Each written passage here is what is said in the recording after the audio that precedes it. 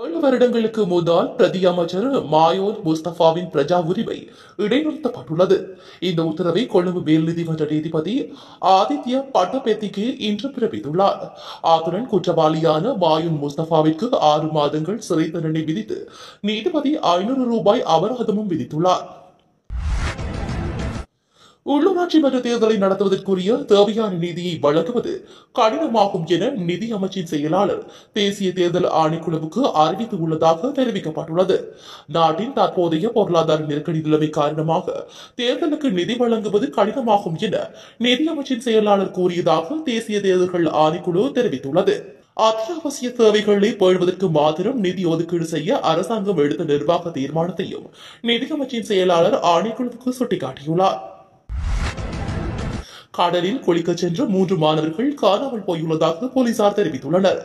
மாத்தரை வெள்ளமாட பகுதியில் உள்ள கடற்கரைக்கு குளிக்க சென்ற மூன்று மாணவர்களே இவ்வாறு காணாமல் போயுள்ளதாக கூறப்படுகிறது.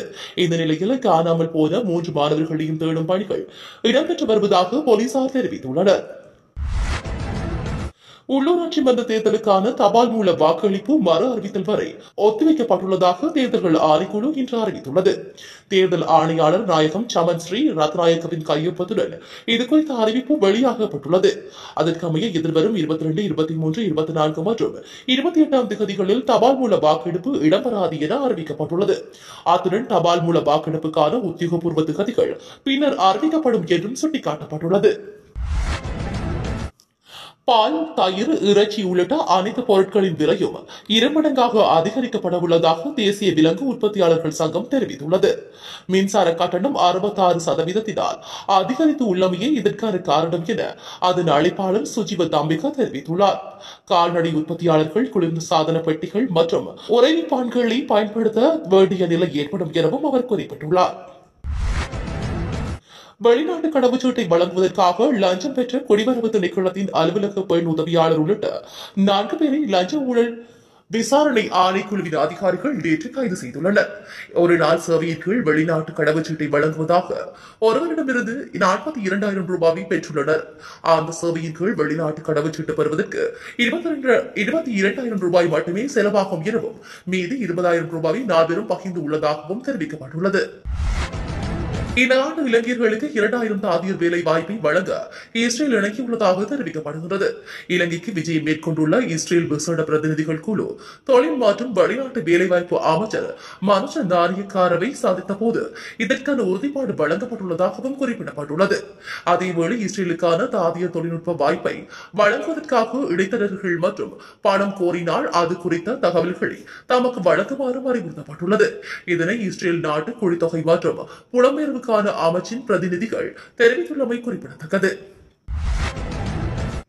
உள்ளூராட்சி மறு தேர்தல் இப்போதைக்கு நடத்தப்பட மாட்டாது என மொத்த கட்சியின் நாடாளுமன்ற உறுப்பினர் பசல் ராஜபக்ஷ உறுதியளித்துள்ளதாக தெரிவிக்கப்படுகிறது.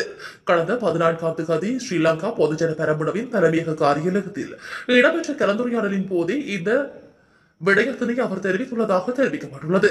அதன்படி தேர்தல் தொடர்பாக தேவையற்ற அழுத்தங்களை ஏற்படுத்த வேண்டாம் என எம்பிக்களுக்கு பசில் ராஜபக்ஷ அறிவுறுத்தியுள்ளதாகவும் தெரிவிக்கப்பட்டுள்ளது. அதேவேளை நிதி பிரச்சனையை முன்னெடுத்து வாக்கு சீட்டுகளை அச்சிடுவதற்கு அரசாங்க அச்சகம் மறுத்துள்ளதால் தபால் மூல வாக்களிப்பையும் தேர்தல் ஆணையம் தற்போது ஒத்திவைத்துள்ளமை குறிப்பிடத்தக்கது. வெளிப்படையில் உள்ள குடும்பஸ்தரை அடித்துக் கொன்ற குற்றச்சாட்டில் கைது செய்யப்பட்ட பதினாறு வயதுடைய மூன்று மாணவர்கள் எதிர்வரும் பிப்ரவரி மாதம் இருபத்தி எட்டாம் தேதி வரை மாகோல புனர்வாழ்வு நிலையத்தில் தங்க வைக்கப்பட்டுள்ளனர். உயிரிழந்தவர் மத்துகம குருத்திப்பிட்ட பிரதேசத்தில் வசித்து வந்த ரங்கவிராஜ் ஜயசிங்க என்ற முப்பத்தி நான்கு வயதுடையவர் ஆவார். வீதியில் ஏற்பட்ட வாக்குவாதம் காரணமாக மாணவர்கள் தலைக்கவசத்தால் குடும்பஸ்தரை தாக்கியுள்ளதாக விசாரணைகளில் தெரிய வந்துள்ளது மோட்டார் சைக்கிள்களை பாதசாரிகளுக்கு ஆபத்தான வகையில் அஜாக்கிரதையாக ஓட்ட வேண்டாம் என பலியானவர் மாணவர்கள் எச்சரித்துள்ளதாக போலீசார் கூறியுள்ளனர். ஜப்பானில் இடம்பெற்ற விபத்தில் இலங்கையைச் சேர்ந்த இரண்டு இளைஞர்கள் உயிரிழந்துள்ளதாக தகவல்கள் வெளியாகியுள்ளன. இந்த விபத்து சம்பவம் கடந்த பன்னிரெண்டாம் தேதி இரவு வேளையில் இடம்பெற்றதாக கூறப்படும் நிலையில் விபத்து தொடர்பில் முப்பத்தி இரண்டு வயதான நபர் ஒருவர் கைது செய்யப்பட்டுள்ளார். கைதான நபர் மது போதையில் வாகனத்தை செலுத்தியுள்ளதாக ஜப்பான் ஊடகங்கள் செய்தி வெளியிட்டுள்ளன. விபத்து இடம்பெற்ற போது வாகனத்திற்குள் இருபது முதல் முப்பது வயது வரையான ஏழு பேர் உயிர்த்தமை குறிப்பிடத்தக்கது. விடுதலை புலிகள் அமைப்பின் தலைவர் பிரபாகரன் உயிரோடு இருக்கின்றார். அவர் நலமுடன் மீண்டு வருவார் என்று உலக தமிழர் பேரவையின் தலைவர் பல நெடுமாறன் தெரிவித்த கருத்துக்கு என்னை பொறுத்தவரை உண்மைக்கு புறம்பானதாகவே கருதுகின்றேன் என அமெரிக்காவின் ஜாஸ்பெரி பல்கலைக்கழகத்தின் பேராசிரியர் கலாநிதி கீத பொன்கலன் தெரிவித்துள்ளார். எதிர்வரும் மார்ச் மாதம் முதலாம் தொகுதி கூட்டு பொது வேலைநிறுத்த போராட்டத்தை அறிவிக்க தொழிற்சங்கங்கள் தீர்மானித்துள்ளன. பல துறைகளில் தொழிற்சங்க பிரதிநிதிகள் நேற்று பிற்பகல் நடத்திய கலந்துரையாடலின் பின்னர் இந்த தீர்மானம் எடுக்கப்பட்டுள்ளதாக அறிவிக்கப்பட்டுள்ளது.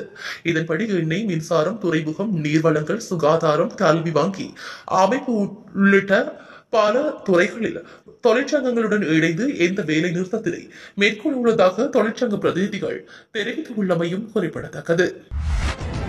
யாழ்ப்பாணம் பல்கலைக்கழக முன்னாள் துணைவேந்தர் கரணித்துறை பேராசிரியருமான ரத்னம் விக்னேஸ்வரன் காலமாகியுள்ளார். மாரடைப்பு காரணமாக அவர் இன்றைய தினம் காலமாகியுள்ளதாக தகவல்கள் தெரிவிக்கின்றன. யாழ்ப்பாண பல்கலைக்கழக மாணவர்களுள் ஒருவர் அப்பல்கலைக்கழகத்தின் துணைவேந்தராவது எனும் வரலாற்றை முதலில் பதித்தவர் பேராசிரியர் விக்னேஸ்வரன் ஆவார். அவர் கிழக்கு மற்றும் யாழ்ப்பாண பல்கலைக்கழகங்களில் கணிதத்துறை பேராசிரியராக பணியாற்றியமையும் குறிப்பிடத்தக்கது.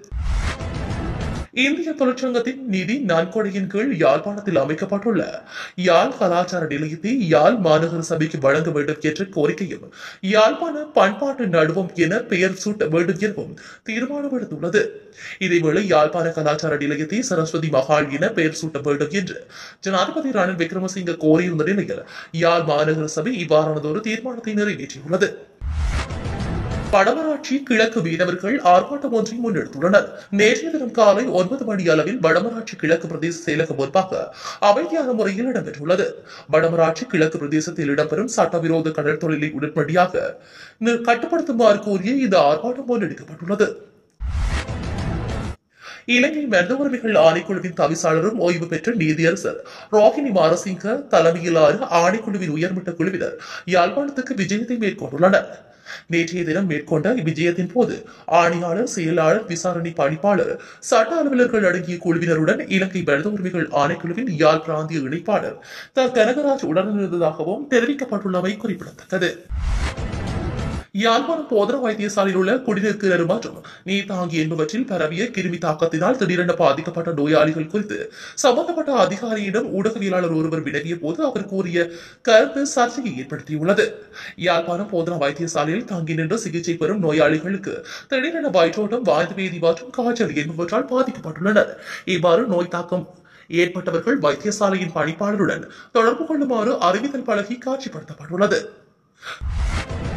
குமணமுனை பகுதியில் வயல்வெளி விஷமிகளில் தீமூட்டி சேதமாக்கப்பட்டுள்ளதாக செம்பளி பகுதியில் உள்ள போலீஸ் காவலர் அணி முறைப்பாடுகள் செய்யப்பட்டுள்ளது என பிராந்திய செய்தியாளர்கள் தெரிவித்துள்ளனர். இந்த சம்பவம் நேற்று பதிவாகியுள்ளதாக தெரிவிக்கப்பட்ட அதே நேரம் ஓய்வு பெற்ற கால்நடை அபிவிருத்தி போதாசிரியரான வேலுப்பிள்ளை ரத்தின சபாபதி என்பவருடைய வயல் நிலவே தீமூட்டப்பட்டுள்ளதாகவும் தெரிவிக்கப்பட்டுள்ளது.